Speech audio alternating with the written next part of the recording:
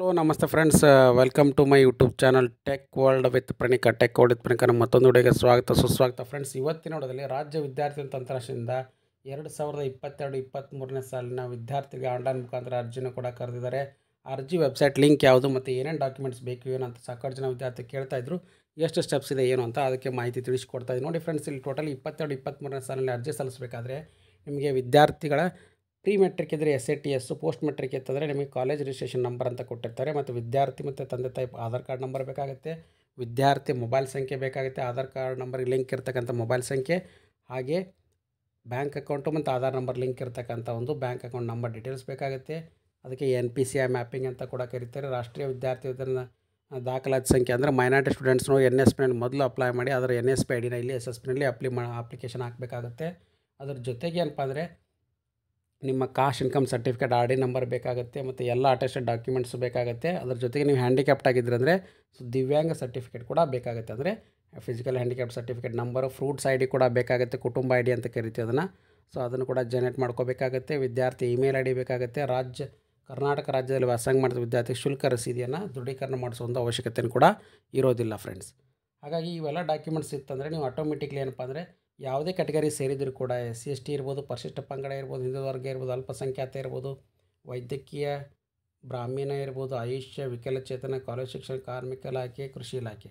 ಹಾಗೆ labour card ಹೊಂದಿರತಕ್ಕಂಥ ತಂದೆ ತಾಯಿ ಆಧಾರ್ ಕಾರ್ಡ್ಗೆ ಮತ್ತು ಎಸ್ ಎಸ್ ಪಿ ಐಡ್ಗೆ ಲಿಂಕ್ ಮಾಡಿಸ್ಬೇಕಾಗತ್ತೆ ಮತ್ತು ಅವ್ರ ಲೇಬರ್ ಕಾರ್ಡ್ ನಂಬರ್ ಕೂಡ ಬೇಕಾಗುತ್ತೆ ಫ್ರೆಂಡ್ಸ್ ಸೊ ಎಲ್ಲ ಡೀಟೇಲ್ಸ್ ಇಟ್ಕೊಂಡ್ಮೇಲೆ ಎಲ್ಲಿ ಹೋಗಿ ಅರ್ಜಿ ಸಲ್ಲಿಸಬೇಕು? ಏನು ಇಪ್ಪತ್ತೆರಡು ಇಪ್ಪತ್ತ್ಮೂರದ್ದು ಓಪನ್ ಆಗಿದೆ ಅಂತಿದ್ರೆ ನೋಡಿ ಫ್ರೆಂಡ್ಸ್ ಇಪ್ಪತ್ತೆರಡು ಇಪ್ಪತ್ತ್ಮೂರನೇ ಸಲ ಓಪನ್ ಆಗಿದೆ.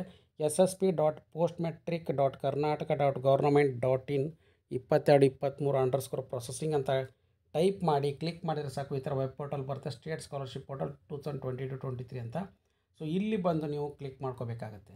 ಇಲ್ಲಿ ಬಂದು ಕ್ಲಿಕ್ ಮಾಡ್ಕೊಂಡ ತಕ್ಷಣ ನಿಮ್ಗೇನು ಬರ್ತಂದರೆ ಎರಡು ಸಾವಿರದ ಇಪ್ಪತ್ತೆರಡು, ಇಪ್ಪತ್ತ್ಮೂರನೇ ಸಾಲಿನ ಲಾಗಿನ್ನು ಬರುತ್ತೆ ಮತ್ತು ರಾಜ್ಯ ವಿದ್ಯಾರ್ಥಿ ತಂತ್ರಾಂಶ ಅಂತಲೂ ಕೂಡ ಬರುತ್ತೆ. ಇಲ್ಲಿ ನೋಡಿ ವಿದ್ಯಾರ್ಥಿಗಳ ಲಾಗಿನ್ ಇದೆ ಮತ್ತು ಇಲಾಖೆ ಲಾಗಿನ್ ಅಂತಲೂ ಕೂಡ ಕೊಟ್ಟಿದ್ದಾರೆ.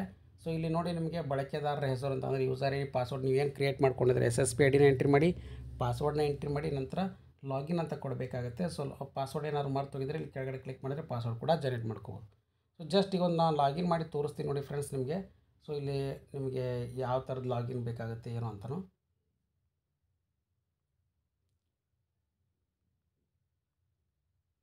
ವಿದ್ಯಾರ್ಥಿಗಳಿಗೆ ಲಾಗಿನ್ ಅಂತ ಬರುತ್ತೆ. ಸೊ ಲಾಗಿನ್ ಬಂದು. ಜಸ್ಟ್ ಒಂದು ವಿದ್ಯಾರ್ಥಿ ನಾನು ಲಾಗಿನ್ ಮಾಡಿ ತೋರಿಸ್ತೀನಿ ನಿಮಗೆ.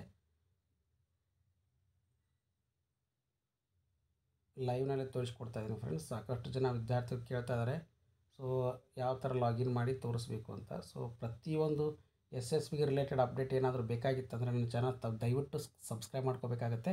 ಇಲ್ಲಿ ನೋಡಿ ಫ್ರೆಂಡ್ಸ್ ಎಸ್ ಎಸ್ ಬಿ ಎರಡು ಸಾವಿರದ ಇಪ್ಪತ್ತೆರಡು ಇಪ್ಪತ್ತ್ಮೂರನೇ ಸಾಲದ ಇವತ್ತು ತಾನೇ ಲಾಗಿನ್ ಆಗಿರ್ತಕ್ಕಂಥ ಡೀಟೇಲ್ಸ್ಗಳು ಮತ್ತು ಅದ್ರ ಜೊತೆಗೆ ನೋಡಿ ಫ್ರೆಂಡ್ಸ್ ಅವ್ರು ಆಲ್ರೆಡಿ ಈಗ ಡೀಟೇಲ್ಸು ಲಾಸ್ಟ್ ಇಯರ್ದು ತೋರಿಸ್ತಾ ಇದೆ ಇಲ್ಲಿ. ಇಪ್ಪತ್ತೆರಡು ಇಪ್ಪತ್ತ್ಮೂರನೇ ಸಾಲಿನ ಕೂಡ ಲಾಗಿನ್ ಆದರೂ ಕೂಡ. ಸೊ ಹಾಗಾಗಿ ಇಲ್ಲಿ ವಿದ್ಯಾರ್ಥಿಗಳು ಅಪ್ಲೈ ಫಾರ್ ಪೋಸ್ಟ್ ಮೆಟ್ರಿಕ್ ಅಂತಲೂ ಕೂಡ ಬರುತ್ತೆ. ಸೊ ಅಲ್ಲಿ ಬಂದು ನೀವು ಅಪ್ಲೈ ಕೂಡ ಮಾಡ್ಕೋಬೋದು. Apply for post matric scholarship ಅಂತ ಇರುತ್ತೆ. ಸೊ ಇಲ್ಲಿ ಬಂದು ಅಪ್ಲೈ ಫಾರ್ ಪೋಸ್ಟ್ ಮೆಟ್ರಿಕ್ ಅಂತ ಸ್ಕಾಲರ್ಶಿಪ್ ಅಂತ ಬಂದಾಗ ಲಾಸ್ಟ್ ಡೇಟ್ ಸಬ್ಮಿಷನ್ ಓವರ್ ಅಂತ ಬರುತ್ತೆ. ಇದು ಯಾಕೆ ಬರುತ್ತೆ ಅಂದರೆ ಇಪ್ಪತ್ತೆರಡು ಇಪ್ಪತ್ತ್ಮೂರನೇ ಲಾಗಿನಲ್ಲಿ ಹೋದಾಗ ನಿಮಗೆ ಇಪ್ಪತ್ತೆರಡು ಇಪ್ಪತ್ತ್ಮೂರದ್ದು ಲಾಗಿನ ಎಂಟ್ರಿ ಮಾಡ್ಕೋಬೇಕಾಗತ್ತೆ ನೀವು. ಫಾರ್ ಎಕ್ಸಾಂಪಲ್ ಈಗ ನೋಡಿ ಫ್ರೆಂಡ್ಸ್ ಇಪ್ಪತ್ತೊಂದು, ಇಪ್ಪತ್ತರ ತೋರಿಸ್ತಾ ಇದೆ. ಸೊ ಇಪ್ಪತ್ತೆರಡು ಇಪ್ಪತ್ತ್ಮೂರನೇ ಲಾಗಿನಲ್ಲಿ ಬಂದು ನೀವು ಎಂಟ್ರಿ ಮಾಡ್ಕೋಬೇಕಾಗತ್ತೆ ಇಲ್ಲಿ ನೋಡಿ ಕ್ಲಿಯರಾಗಿ ಇಲ್ಲಿ ನೋಡಿ ನಂದು ಇಪ್ಪತ್ತೆರಡು, ಇಪ್ಪತ್ತ್ಮೂರು ಬಂದಿಲ್ಲ. ಹಾಗಾಗಿ ಈ ಥರ ತೋರಿಸ್ತಿದೆ. ಸಾಕಷ್ಟು ಜನ ವಿದ್ಯಾರ್ಥಿ ಅಂದರೆ ಇಪ್ಪತ್ತೊಂದು, ಇಪ್ಪತ್ತೆರಡರದ್ದು ಓಪನ್ ಮಾಡಿ ನೀವು ಲಾಗಿನ್ ಆಗಕ್ಕೆ ಹೋಗ್ತೀರಾ? ಹಾಗಾಗಿ ಅದು ಬರೋದಿಲ್ಲ. ಇಪ್ಪತ್ತೆರಡು, ಇಪ್ಪತ್ತ್ಮೂರನೇ ಲಾಗಿನ್ ಆದಾಗ ಮಾತ್ರ ತೋರಿಸುತ್ತೆ. ಅದನ್ನು ಕ್ಲಿಯರಾಗಿ ಹೇಳ್ತಾ ಇದ್ದೀನಿ ನೋಡಿ. ಸೊ ನಾನು ಈಗ ಇಪ್ಪತ್ತೆರಡು ಇಪ್ಪತ್ತ್ಮೂರನೇದು ಲಾಗಿನ್ ಆಗಿದ್ದೀನಿ. ಸೊ ತೋರಿಸ್ತಾ ಇದೆ ನೋಡಿ. ಹಾಗೆ ಇಲ್ಲಿ ಓಕೆ. ಹಾಕಿದ ಮೇಲೆ ಲಾಗಿನ್ ಅಂತ ಕೊಡಿ. ಆಟೋಮೆಟಿಕ್ಲಿ ಲಾಗಿನ್ ಆಗುತ್ತೆ. ಇನ್ವ್ಯಾಲಿಡ್ ಯೂಸರ್ ಐ ಡಿ ಇದ್ದರೆ invalid user I D invalid password ಇದ್ದರೆ ಇನ್ವ್ಯಾಲಿಡ್ ಪಾಸ್ವರ್ಡ್ ಅಂತ ಕೊಡುತ್ತೆ. ಓಕೆನಾ ಸೊ ನೀವು ಇಪ್ಪತ್ತೆರಡು ಇಪ್ಪತ್ತ್ಮೂರನೇದು ಏನು ಪ್ರೊಸೆಸಿಂಗ್ ಅಂತದೆ, ಇಲ್ಲಿ ಬಂದು ಲಾಗಿನ್ ಆದರೆ ಮಾತ್ರ ನಿಮಗೆ ಲಾಗಿನ್ ಆಗಿ ಡೀಟೇಲ್ಸ್ ಕೊಡುತ್ತೆ. ಅದೇ ಇಪ್ಪತ್ತೊಂದು, ಇಪ್ಪತ್ತೆರಡರ ಲಾಗಿನ್ ಆಗಿದ್ರೆ ಅಂದರೆ ನಿಮಗೆ ಲಾಸ್ಟ್ ಡೇಟ್ ಈಸ್ ಓವರ್ ಅಂತ ಬರುತ್ತೆ. ಸಾಕಷ್ಟು ಜನ ವಿದ್ಯಾರ್ಥಿಗಳು ಆ ಥರ ಬರ್ತಾಯಿದೆ ಅಂತ ಇರ್ತದೆ ಹಾಗಾಗಿ ಈ ವಿಡಿಯೋದಲ್ಲಿ ಅವರಿಗೆ ಲಾಗಿನ್ ಆಗಿ ತೋರಿಸ್ಕೊಡ್ತಾ ಇದ್ದೀನಿ ನಾನು. ಇಪ್ಪತ್ತೆರಡು ಇಪ್ಪತ್ತ್ಮೂರನೇದು ಲಾಗಿನ್ ಆಗಿ.